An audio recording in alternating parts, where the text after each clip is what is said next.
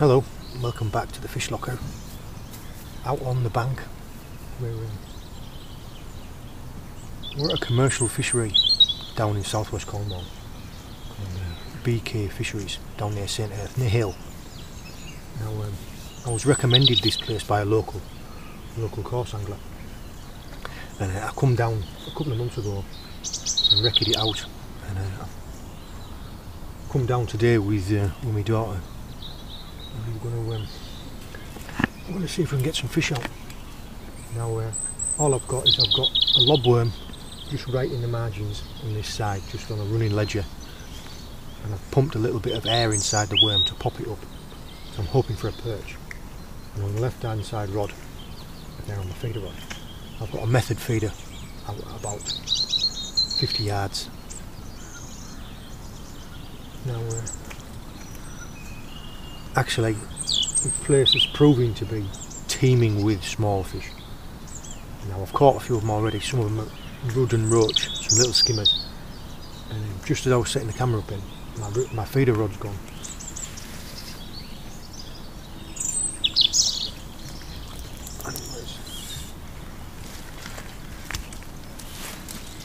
Easy target.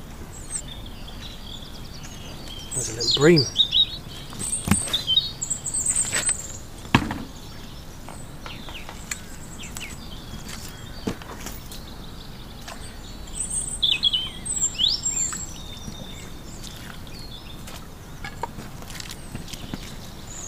So, we've we've already had we've already had three species and I've only been here about 20 minutes. Now the um, the ground bait that I've got it's just generic like Swim Stim feeder X whatever it is. And I bulked it out with some breadcrumb. And I've mixed in here some um, some sweet corn. And what I'm planning on doing planning on doing is trying for a nice perch and a, a nice bream. But if a carp happens along, then I'll, I'll happily accept it. I'll, I'll be showing you my rigs as I bring them in. I'll be talking you through the little bits of tactics, and hopefully I'll be showing you some nice fish. One of the things that I've mentioned before is about when you're making your ground bait up. Now it doesn't want to be too wet. It doesn't want to be too dry. So what I do is I, I put it all into a bucket and mix it up. And then I add a little bit of water and then mix it up. And add a little bit and mix it up. And add a little bit and mix it up. Don't put too much in at once. Because once it's in there you can't take it out. You can always add more. But you cannot take it out. It wants to be a consistency so you can go like that with it. Just give it a light mash in your hand and it clags together. Like that. So it holds onto the feeder. If it's too wet it'll be too sloppy and it won't hold together. And if it's too dry it'll just fall apart. It wants to just be just claggy like that.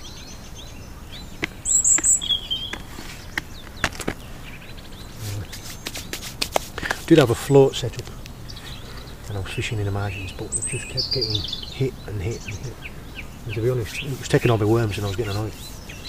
It turned out when I finally hooked one it was Rudd that was doing it. So uh, I've put Lizzie's rod onto a feeder as well. So I've got the feeder out in the middle Lizzie's got a feeder just over to my left hand side and I've still got that big lob worm in the reeds. Uh, a lot of line bites. What I mean by line bites is, is um, the line that goes to your to your weight and to your bait. When a fish swims into it and hits it, you show like a rap. You can tell it's not a fish because if it was a fish, it would give a couple for it to go hold of the bait. Just one, one knock, like something hits the line. what I'm waiting for is I'm just waiting for like the end, the rod tip to hoop over. Now I've backed the drag rate off. I mean, uh, can you see the? Um, it's called a reaper head on my uh, on my rod rest. I think they're brilliant. You can manoeuvre them all, and you can fit two or three rods on. Doesn't slide about. Uh, dead cheap as well. I've backed the drag right off on my reel, so as if a big fish takes it, the end will hoop over and line will just leave. And all I'll do is I'll pick it up and hold the spool lift into it and make sure the hook's set and then tighten the drag as I see fit. Hopefully I'll get to show you.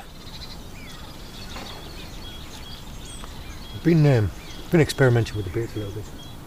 Now the little fish are just mobbing the feeder. You'll see because straight away there's little trembling bites. Uh, I tried hair rigged sweet corn. It's like four sweet corn back of a, back of a size 10 hook. See this rod on the left hand side is giving little bites. I'd, uh, I tried hair sweet corn and it was just coming back and the feeder and the hook and the hair rig bait getting loads of little knocks nothing was hooking up it was just completely stripping me. So I've gone back to hair rigged lobworm. Not like monsters. Well maybe about that big. Just hair rigged on the back of um, size 10 barbless I'll show you in a second I've just had a real good knock on the uh, on the popped up lobworm inside the reeds the rod fully spun round. I was, I was hoping it was going to be a, a good perch. Any luck it'll come back round.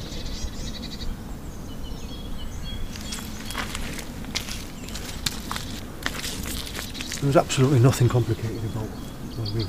Just got a little hook length of um, 15 pound braid. A little barrel swivel on one end. And I've tied a little hair rig loop on the back with a snell knot. There's a little size 10 barbless. I had a lot of success using this in a, in a local reservoir for bream. So I've scaled the hooks down a little bit and I'm using them on here. And all I do is I've got a little tool, a little tool that I made up from a piece of copper wire with a with a notch cut into it. So that I say for instance when I'm using sweet corn. Just thread a couple of sweet corn on onto my tool like that. Then hook it onto the little notch.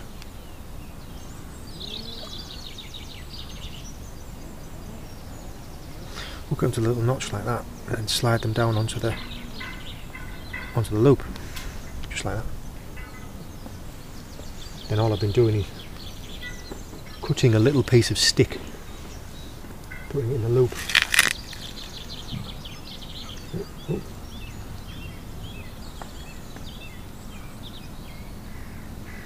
something on the left hand side road well, Lizzie had just got back from having a cup of tea. She'd only been back 20, 30 seconds. What was the bite like? Uh, the rod almost like, tipped into the water. It just, just went. Tip just hooked straight over. Just lifted straight into a fish. And it was um, a lovely conditioned bream. Now, I don't know if you can see, but the um, just hold that there a second, Liz. Yep. That's the beauty of these hair rigs is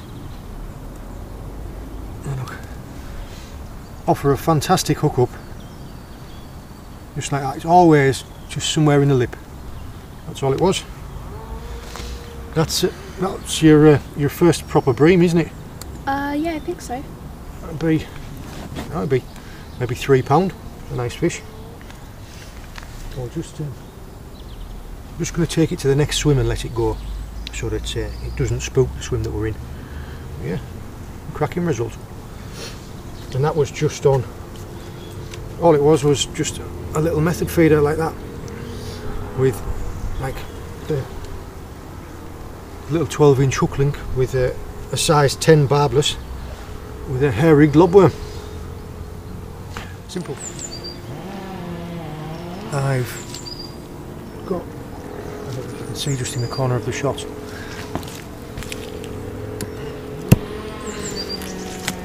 See this rod here?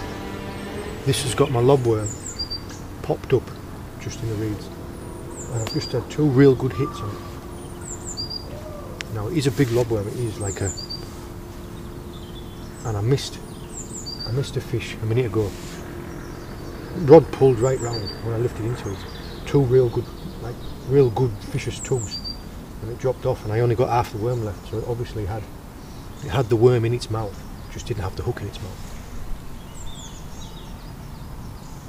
So I'm wanting whatever it is, I mean it might only be a small perch. I'm wanting whatever it is to swallow it. Get the whole worm in its mouth.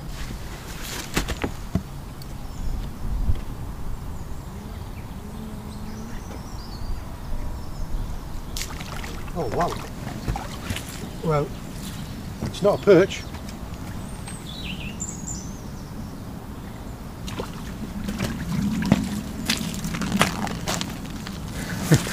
it's not a perch. Oh look, the hook's just falling out.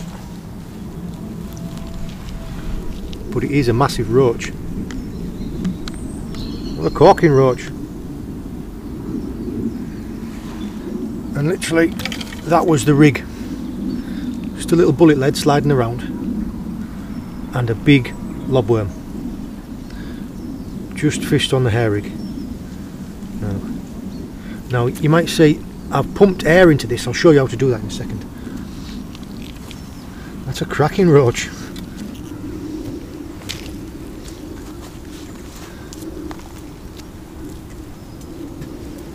Give him a little bit of water there. We'll get a photo of him because he's probably a pound.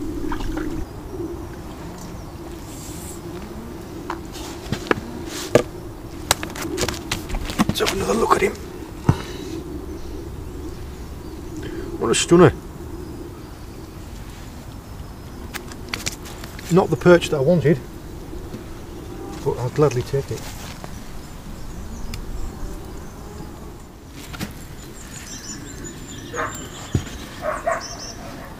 Pick something up on the feeder.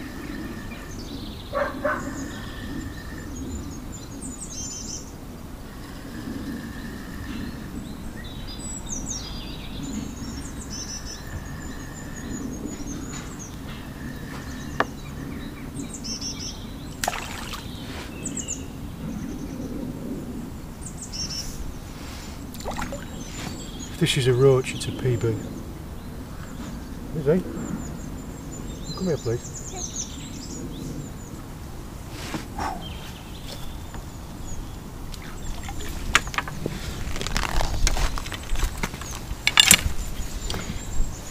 Well, that's definitely a PB.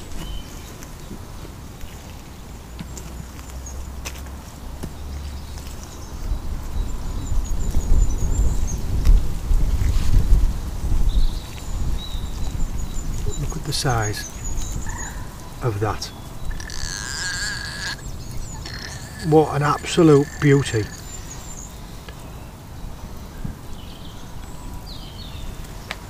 I would say by the shape of the fins and the shape of the mouth that it is a roach and not a hybrid roach rudd. And what a stunning conditioned fish that is. Definitely going to have to get a weight on that, that is a corker.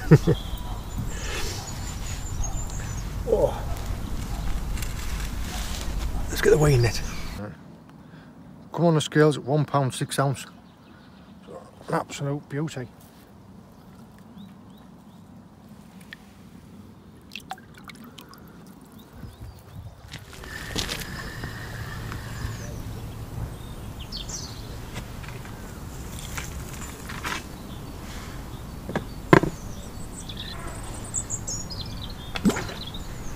Another nice roach.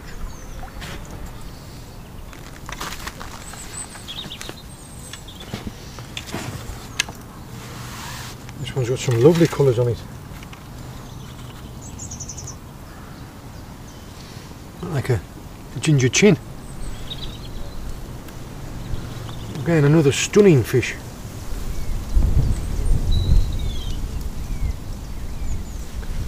This wasn't supposed to be a silvers session, but it's shaping up that way, isn't it?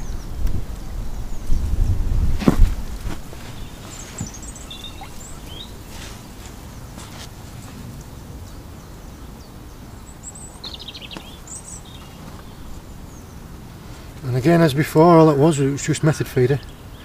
I had a little hair rigged worm on there.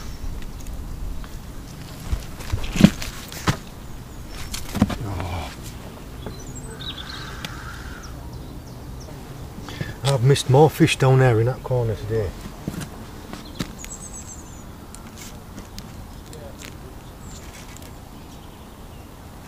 Painful. all I've been doing is been rigging them up beforehand. On it again. Look. Rigging up a couple of these heavy globworms beforehand. So as soon as I bring one in like that, all I have to do is just snap it on.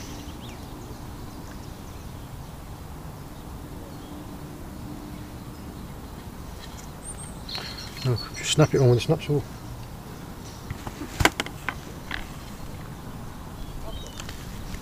All I've been doing here is I just mash a little bit of ground bait around like that.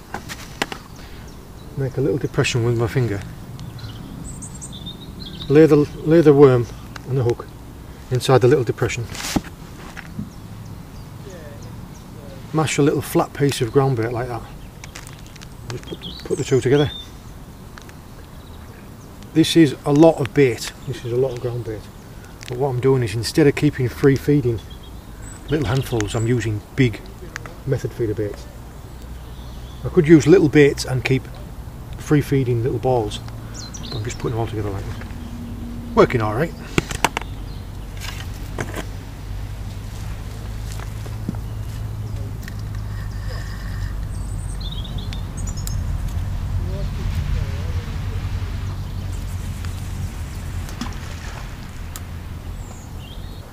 When choosing where I was going to fish today, usually when I get to a lake I'll have a little bit of a walk around any venue.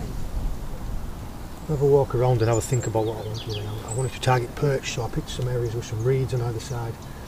And uh, I think what looked like a deep bit in the middle.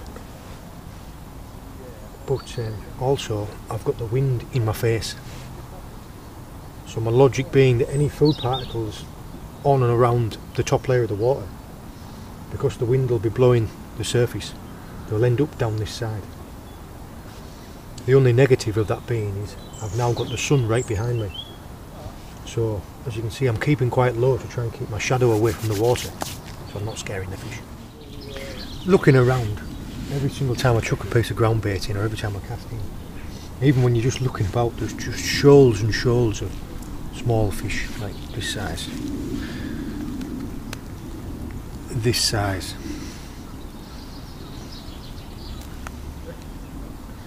Now uh, they're taking. Look at that! It took took a lobworm, greedy thing.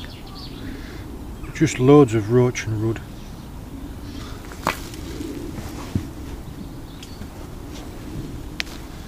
Uh,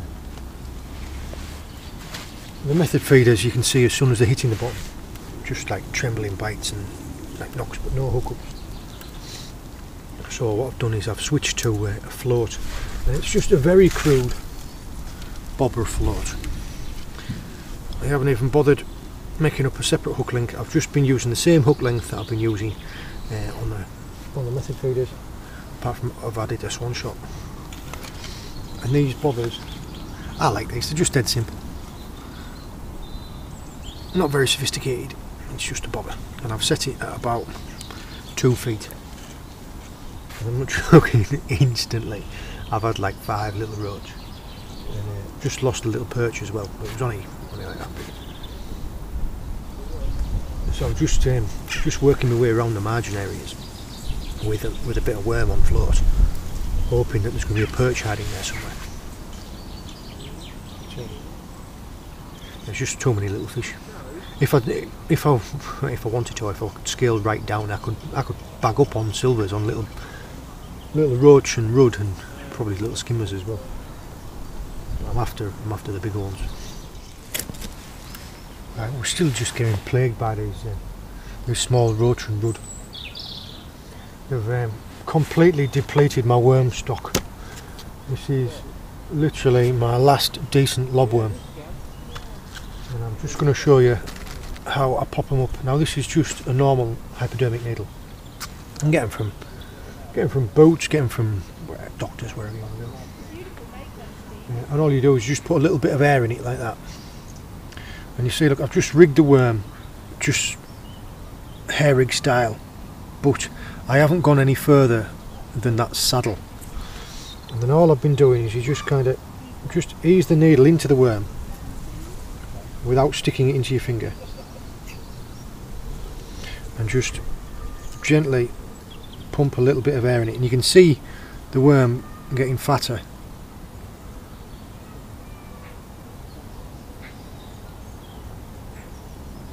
all I've done there is just pumped a little bit of air in there try it on the other end as well and you're blowing it up like a balloon now. See it getting fatter? That air in there now, inside that fat lobworm, will pop it up. I mean, it, it's not going to make it float like a float, but it's not going to sit on the bottom.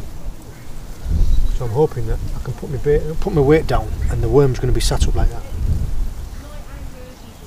Hopefully, it's going to get us a perch. But if not, what can you do? The um, this fishery, BK Fisheries, it's owned guy owned by a guy called Billy. Now he's um, he's well known in the coarse angling world. I, I didn't really know about him until I'd come here, until I'd met him, and he's um, definitely a character. You can hear him on the other side of the lake talking to some guy. He's um, he's great like that. Come out and talk to you and spend time, give you a little bit of advice. I mean, after all, it is his lake, and um, there's two there's two pools to fish here.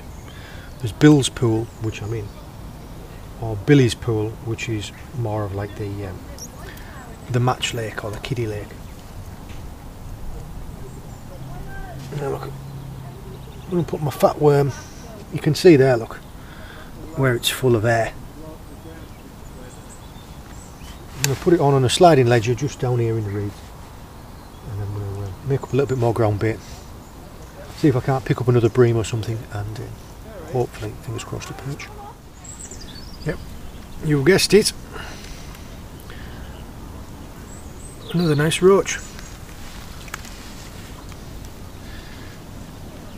They are lovely conditioned fish, but not what I am after.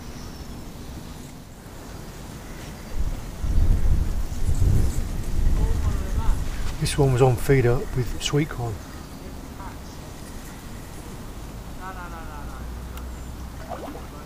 Another bream.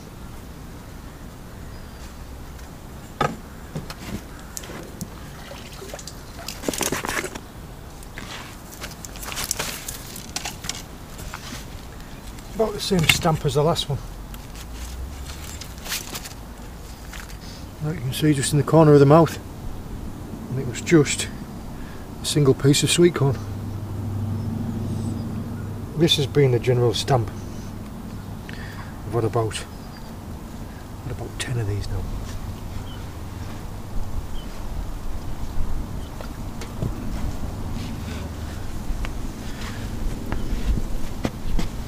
They are, uh, they are a shoaling fish bream. So when generally they come into an area, that's what you'll be catching, which is what I'm happening now. Well, I'm just using up the last of my ground bait. Just using up the last of the ground bait. And I ran out of worms a while ago, so I'm just using sweet corn on the hook. It's another stunning roach. Really are some cracking silvers in there. Absolutely fin perfect.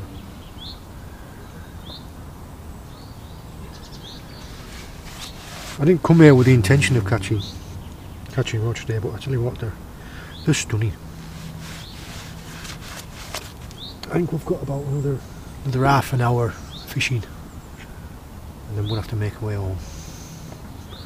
No perch, but had some stunning fish.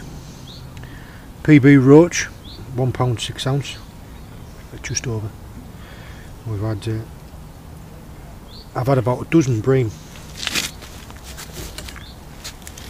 Lizzie had three, I think I've had about a dozen. Biggest one was actually Lizzie's. Lizzie's bream of about three pounder, maybe three and a half. Just getting put back.